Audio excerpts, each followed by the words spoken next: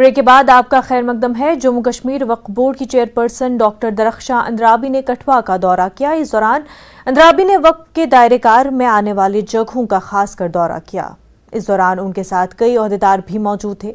उन्होंने कहा कि वक्फ की ज़मीन पर आने वाले दिनों में नौजवानों के लिए रोज़गार पैदा किए जाएँगे। साथ ही दरख्शा अंद्राबी ने कहा कि बीजेपी आने वाले चुनाव के लिए पूरी तरह तैयार है।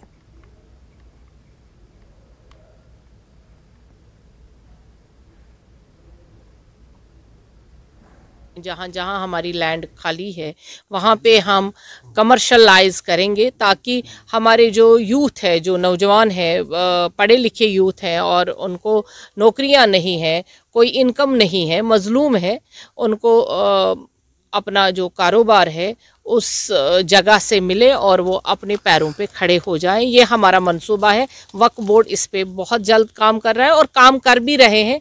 हम देख रहे हैं कहाँ कहाँ हमारे एसेट्स हैं और उस पर हम अपने नौजवानों को आगे बढ़ने का मौका देंगे। हमारे पास उतनी ज़मीन नहीं है कि हम कोई रेजिडेंशल कॉलोनी बनाए। तो ये आपके सामने है कहीं पे एक कनाल है कहीं पे सोलह मरले हैं कहीं पे ग्यारह मरले हैं। उसमें यही चाहेंगे कि इनको इसको कमर्शलाइज करके इस इसमें बच्चों को रोज़गार भी मिले और वक्फ बोर्ड की तरक्की भी हो जाए। देखिए जम्मू कश्मीर में जो चुनावी सरगर्मियाँ हैं, वो अब तो बढ़ेगी ही, क्योंकि डेमोक्रेसी है। हमारा हिंदुस्तान डेमोक्रेसी का एक वाहिद ऐसा मंबा है, जो पूरी दुनिया में माना जाता है।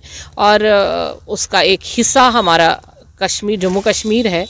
और यहाँ पे भी अब सरगर्मियाँ शुरू हुई है और इन रहमान, जो ही बिगुल बग जाएगा तो भाजपा हर तरफ़ आपको वही कमल खिलता ही नज़र आएगा। जब तक डेमोक्रेसी में आपको अपोजिशन नहीं होगा, तब तो डेमोक्रेसी है ही नहीं। अपोजिशन होना और स्ट्रॉन्ग अपोजिशन का होना बहुत लाजमी है। तभी आप मुल्क में या रियासत में कोई पॉलिटिकल जो सरगर्मियाँ हैं आगे बढ़ाएँगे। अदरवाइज़ तो नहीं होगा।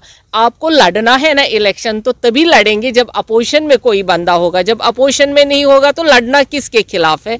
तो इसलिए हम चाहेंगे अपोजिशन स्ट्रांग हो ताकि हमें मौका मिले अच्छे तरीके से लड़ने का। उन्होंने बताया कि हम इसको हटा देंगे। तो फिर उनको पीछे दहाइयों में जाना पड़ेगा जब उन्होंने ये कानून लाया था। अब वो पीछे जाना चाहते हैं या आगे आना चाहते हैं, उससे कोई फ़र्क नहीं पड़ता है, क्योंकि ये काला कानून उन्होंने लाया था। अब अगर उनको लगा है ये कानून ख़राब है तो वो उस खराबी को ठीक करने के लिए अगर आ रहे हैं तो कोई फ़ायदा नहीं है, क्योंकि ये मालूम है जम्मू कश्मीर के लोगों को कि उन्होंने सत्तर सालों में जम्मू कश्मीर के साथ क्या किया।